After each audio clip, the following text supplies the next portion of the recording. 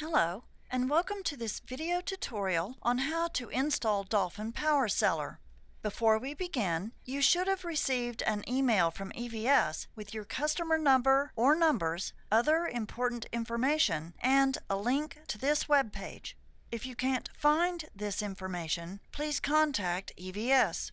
There may be preparations you need to perform prior to downloading and installing Dolphin Power Seller.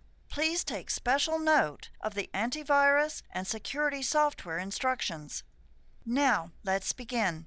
Step 1 is to download the software. Click on the link to download the executable file. If you have the choice to run, click on it and the installation will begin. However, on my browser, the only choice is Save, so I will click on that and then locate the file to begin the installation. Step 2 is to install the software.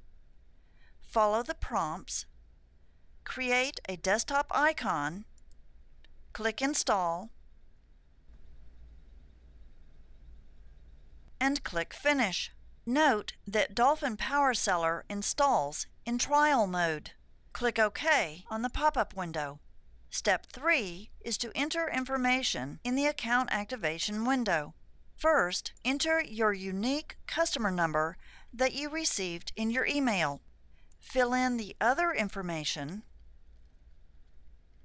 and click Send. A pop-up window will appear. Click OK. The account activation window will close and on the main menu of the Dolphin, you should now see your customer number and user number.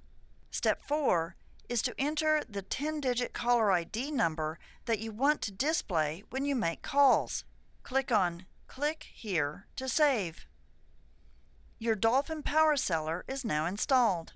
There are numerous video tutorials on how to customize and use the Dolphin.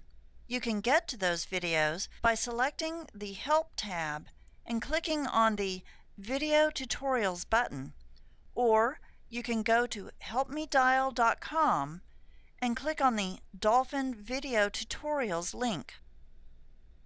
Thank you for taking the time to watch this video.